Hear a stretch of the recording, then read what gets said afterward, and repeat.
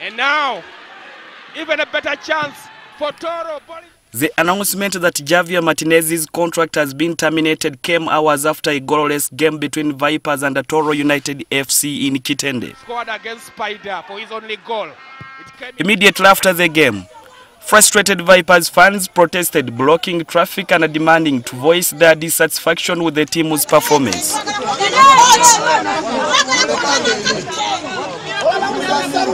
Tuva wala tulaba omupiira. Tugenda ejjinja tugenda ekkuumi tugenda embalala tugenda luddawa.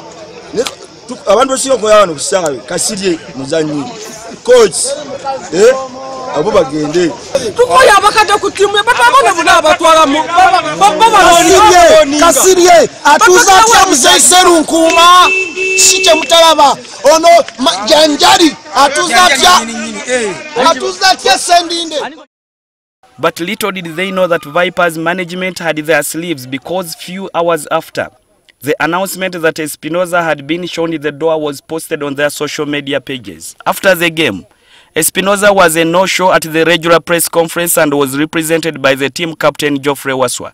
According to the club spokesperson Abdul Wasike, the plan to terminate the coach's services were already in motion. Say it's not something that has uh, just come up from the team. It's something that has been in the pipeline uh, because of the way the team was uh, was being run under the under the uh, the coach that is leaving.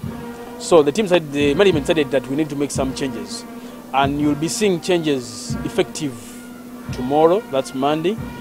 Uh, before we unveil either the new head coach or a caretaker who will let the media know uh, by Tuesday or tomorrow or Monday. Wasike said Espinoza has been compensated and is expected to return the club's property. Espinoza was contracted as a tactician after Portuguese Miguel da Costa, who took the team to the National League Championship last year, was sacked in July. Wasike said the announcement for a new coach will come soon. He also refuted reports that the club is eyeing KCCA FC's coach Mike Mutebi.